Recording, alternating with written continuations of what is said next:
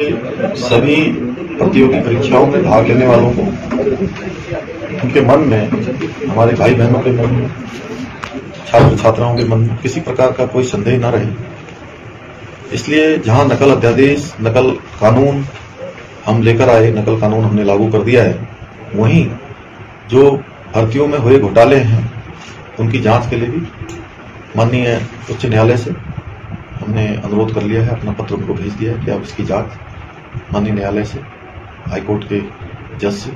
करवाने का अनुरोध हमने किया है और ये जाँच होगी, निष्पक्ष होगी और किसी के मन में कोई संदेह नहीं रहना चाहिए कि नकल होगी या नकल में लोग शामिल होंगे या पिछले लोगों को कहीं पर भी